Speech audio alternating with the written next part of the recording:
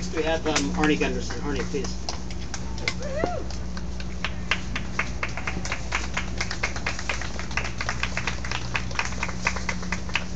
Hi, I'm Arnie Gundersen. It's, uh, it, it's crystal clear.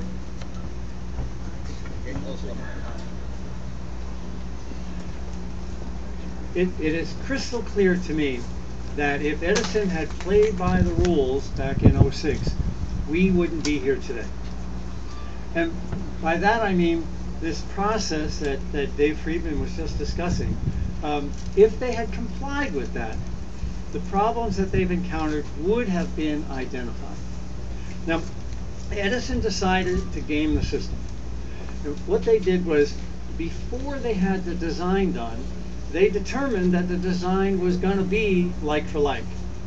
In fact, there were enormous changes inside those steam generators that that um, made it anything but a like for like swap out. It, it's sort of like uh, uh, think of a Mack truck and Harry Potter throwing his invisibility cloak over it and then uh, claiming that underneath there is a Mini Cooper.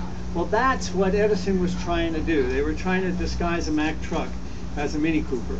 And what happened is we're here today as a result. I'm sure that the NRC would have caught the, uh, the design problems that, um, uh, that we're seeing today. Uh, just a couple. Um, the, the, people that made this generator, Mitsubishi, um, had never built a generator like this before. So all of their computer codes were designed for another manufacturer's steam generators. The, the net effect of that and all of the other design problems that, uh, that we encountered were the failures we see today. Now, make no mistake, this is not just a leak, we can shut it down, fix it. This is a safety problem. And what can happen in a case where the steam generator tubes are weak is, is something called a steam line break accident in which many of those tubes fail. And that's actually in the plant's emergency plan. This is, this is an accident that's analyzed and would require an evacuation.